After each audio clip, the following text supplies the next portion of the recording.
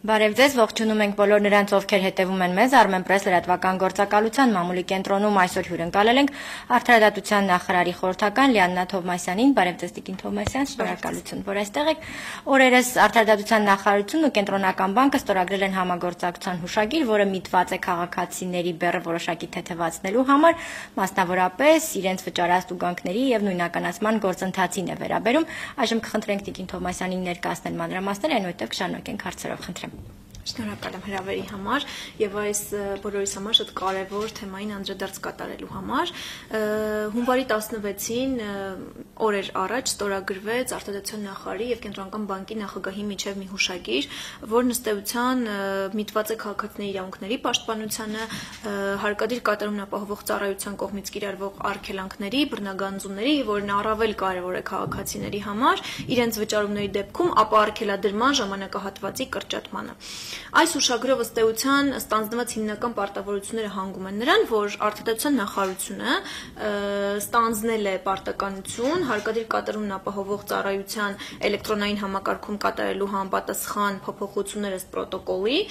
եւ դրանից հետո արդեն իսկ կենտրոնական բանկի հովանու ներքո բոլոր բանկերը պետք է այս պրոտոկոլով առաջնորդվեն եւ վճարումները նույն կերպ ընդունեն։ Մենք խնդիր ունեինք, որ քաղաքացիները իրենց պարտավորությունները մարում էին,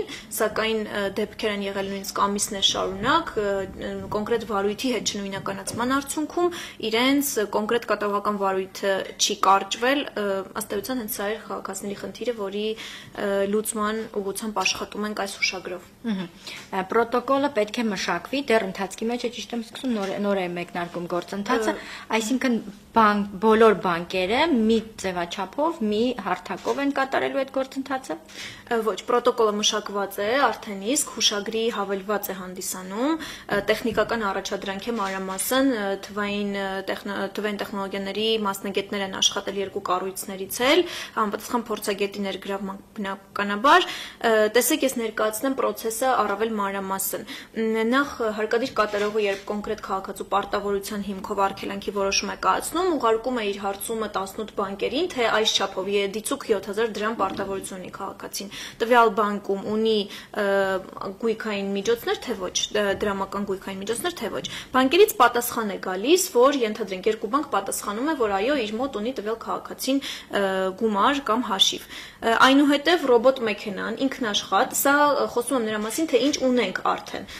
Ռոբոտ մեքենան ինքնաշխատ աշխատում է, parzum է տվյալ բանկերից, դիցուկ երկու բանկից, որոնք պատասխանել են այո, ունի քաղաքացին ինձ մոտ գումար։ Առաջնահերթ ազատ միջոց արկա է այդ գումարների շրջանակում, թե չէ։ Ինչ է նշանակում առաջնահերթ ազատ միջոց, սա շատ կարևոր է, որ չներառվի ավանդ, աշխատավարձ, թոշակի գումար եւ փոխարժեք եւ արտարժույթ ներողություն եւ մի քանի այլ տարատեսակի գումարներ։ Այնուհետև 22 թվականին մեր կատարված եւ ձեռքբերված մեծ արդյունքի մասին կուզենամ խոսել 13 բանկի հետ արդեն իսկ մենք ավտոմատացրել ենք հաջորդ գործընթացը, որը մինչ այդ տևում էր 20 օրից ավել, 20, 30 եւ ավել օրեր, երբ առաջնահերթ ազատ միջոց է parzum ռոբոտ մեքենան, որ կա, ինքնաշխատ կայացում է բռնագանձման վերաբերյալ որոշում, դա ուղարկում է այն բանկերին, որտեղ քաղաքացին ունի համապատասխան միջոցներ, դրանից հետո արդեն բռնագանձման գործընթացը ավտոմատ իրականացվում է։ Սա այժմ հասցված է մինչև 3 օրվա, որոշ բանկերի դեպքում շատ ավելի կարճ ժամանակահատվածի։ Այնուհետև արդեն գալիս է մեկ այլ կտոր, որի լուծման ուղված է հուշագիրը։ Երբ քաղաքացին ֆիզիկապես գումարը գնում է մուտք է անում բանկ, մենք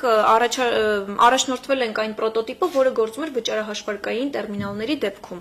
Դրանք են Telcel, EasyPay, Idram, Mobidram, այս տերմինալներով եւ քաղաքացին վճարումը կատարում էր, ապա արկելադրման գործընթացը շատ արագ էր տեղի ունենում, քանի որ նա իր սոցկարտի տվյալները, որ մուտքագրում էր, ավտոմատ բերում էր իր կատարողական վարույթները եւ ըստ առաջնորդության դրանք մարվում էին։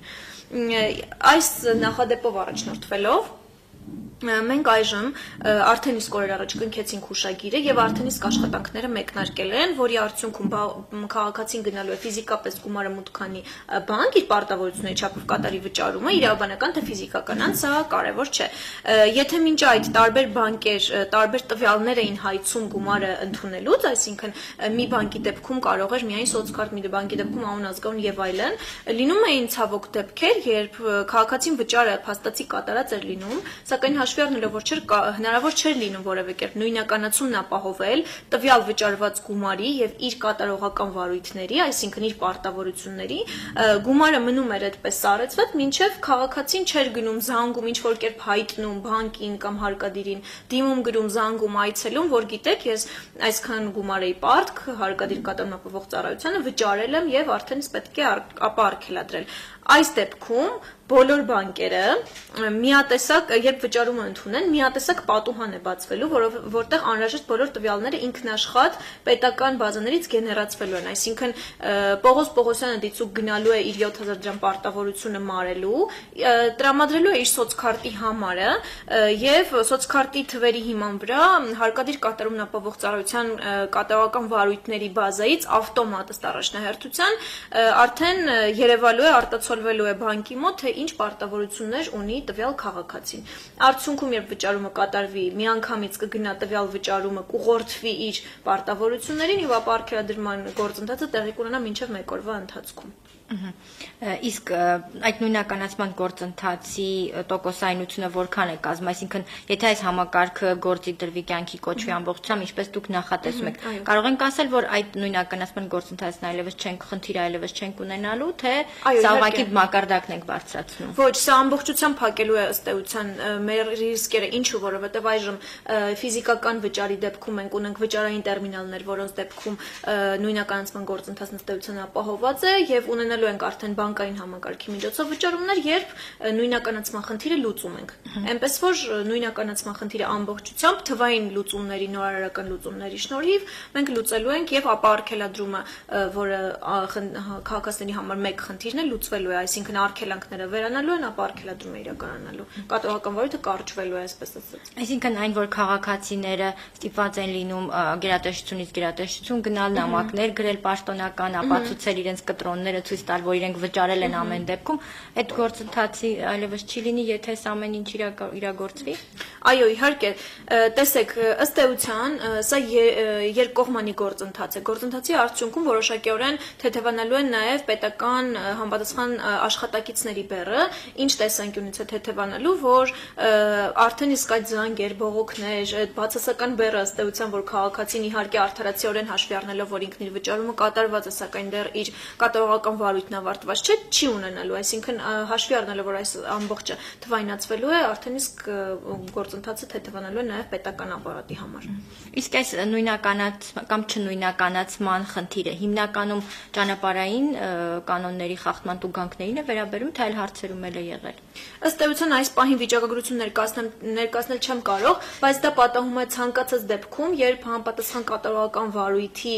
տվյալներին քաղաքացին չի տիրապետում, իսկ դեպքերը շատ են, երբ քաղաքացին չի տիրապետում իր վարույթի կամ կատարողական ը, իր կատարողական վարույթի տվյալներին, էլի, իր կատարողական թերթի համարին օրինակ։ Շատ լավ, բացի այս գործիքակազմից, ինչ այլ աշխատանքներ եք նախատեսում, որպեսզի քաղաքացի հարկադիր կատարման ծառայություն այդ շփումն ավելի հեշտությամբ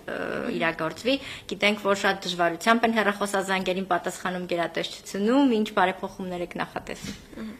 Տեսեք, նախ նշեմ, որ մեզ համար շատ կարևոր այս ուշագրի գործընթացն իր մեջ ներառելու է ընդհանուր առմամբ մոտավորապես 6 ամսյա ժամկետ, սա շատ կարևոր եմ համարում անդրադառնալ, ինչու, որովհետև մեր բոլոր բարեփոխումները եւ զուգահեռ են իրականացվում եւ հաջորդում են իրար։ Այսինքն հարկադիր կատարումն ապահովող ծառայության հատվածում մինչեւ 3 ամիս են տևելու աշխատանքները, թվային լուծումները արդեն կյանքի կոչելու տեսանկյունից, այնուհետև մոտավորապես նույն չափ ժամանակ էլ անհրաժեշտ է լինելու, որ բոլոր բանկերը, ինչը փոքրի շատ է բարդ գործընթաց է հաշվի առնելով, որ բանկերից ցանկացածն ունի իր յուրահատուկ ներքին գործընթացները, ներդրվի այս թվային լուծում, այսինքն մոտավորապես 6 ամիս անց մենք կունենանք ամբողջական ծրագիրը ներդրված։ Այնուհետև նախատեսում ենք տարվա վերջին ունել հարկադիր կատարումն ապահովող ծառայության լրիվ նոր էլեկտրոնային համակարգ, այսինքն կատարողական թերթը մտավ հարկադիր, մինչև վերջ, մինչև ապա արգելադրման գործընթաց ամբողջը թվային արվի։ Անդրադառնալով նաև ձեր բարձրաձայնած խնդրին, որ հարկադիր կատարումն ապահովող ծառայության աշխատակիցները որոշ դեպքերում այսքան քաղաքացիների հասանելիության տեսանկյունից դժվար է նրանց հետ կապ հաստատելը, զանգերի կենտրոնի արդիականացման մասով ենք աշխատում, միաժամանակ Նախորդ տարվա ավարտին բացվել է քաղաքացիների ընդունելության նոր կենտրոն նոր ձևաչափով հարկադիր կատարումն ապահով ծառայությունում, որտեղ կարող են քաղաքացիները այցելել եւ իրենց ուզող բոլոր հարցերով ստանալ խորհրդատվություն, իրենց վարույթի վերաբերյալ տեղեկատվություն։ Նախորդ տարում գրանցած արդյունքներից է նաեւ անձնական գրասենյակ հարթակը, որ քաղաքացին կարողանում է համապատասխան տվյալների մուտքագրումից հետո մուտք գործել, հետեւել իր վարույթի ընթացքին, պարտավորությունների չափին եւ այլն։ Դե հաշվի առնելով, որ մեր ոչ բոլոր քաղաքացիները քաղաքացիներին, որ կարողանում են էլեկտրոնային այս հնարավորություններից օգտվել,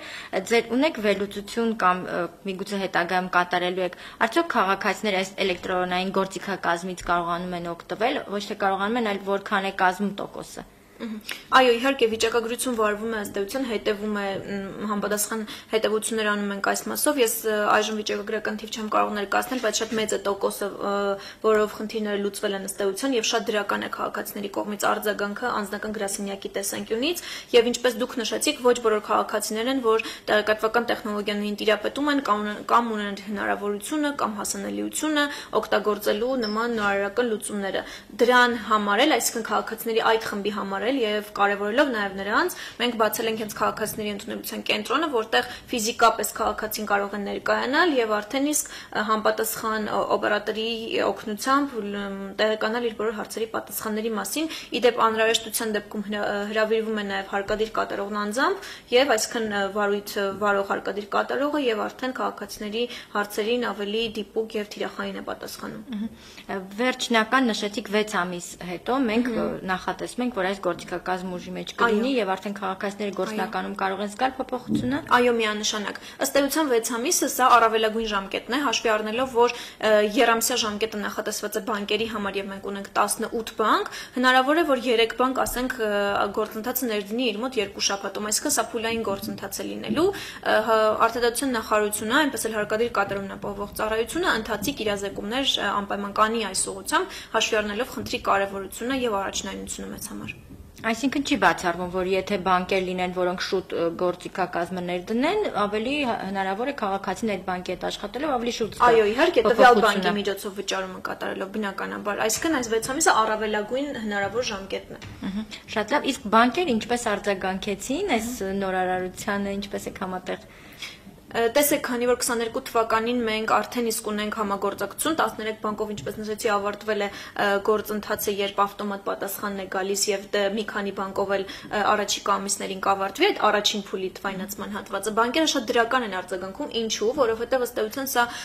քաղաքացիա կենտրոն, բանկերի տեսանկյունից էլ հաճախորդակենտրոն մոտեցում է եւ ըստ էության նրանց հաճախորդներն են գոհ լինելու ծառայությունից, որովհետեւ տեսեք, բանկի միջոցով քաղաքացին վճարումը կատարում էր եւ գնում էր հարկադիր իր կատարումն ապահովող ծառայությունը այնտեղ գումարը չէր երևում։ Տվյալ դեպքում բանկերն էլ բողոքների իրենց մասնաբաժինն էին ստանում եւ այս փոփոխության արդյունքում էլ նրանք ազատվել նաեւ այս բողոքներից եւ իրենց հաճախորդները արդեն իսկ գող կլինեն իրենց մատուցած ծառայությունից։ Հարկադիր կատարման ծառայության հետ քաղաքացի շփման այս ամբողջ գործընթացում հիմնական խնդիրներն ու դժգոհությունները գալիս են այս չնույնականացման process-ի հետ։ Ըստ էության այո, որովհետեւ տեսեք քաղաքացին առավելապես բնականաբար բողոք կարող է ունենալ, երբ իր ֆինանսական տնտեսական միջոցների վերաբերյալ է խոսքը եւ դա շատ բնական է, նորմալ է։ Ըստ այդմ մենք առաջնայինության կարգով աշխատում ենք հենց ապահարկելադրման գործընթացի վրա, որ քաղաքացիների դրամական եւ գույքային միջոցները հանկարծ ավելորտ անգամ ապահարկելադրված չմնան եւ նրանք չունենան կատարողական վարույթներ, որոնք ըստ էության փաստացի ավարտված պետք է լինեին։ Շնորհակալ եմ շատ, մեր հարցերը սպառվեցին, եթե ամփոփենք կարող ենք ասել, որ եւ նույնականացման խնդիրն է լուծվելու եւ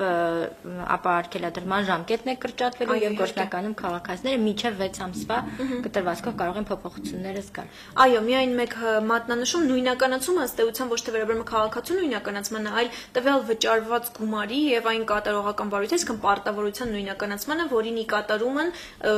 ուղղված է եղել վճարումը։ Եվ այո, 6 ամսի առավելագույն ժամկետում մենք կհասնենք խնդրի վերջնական լուծմանը։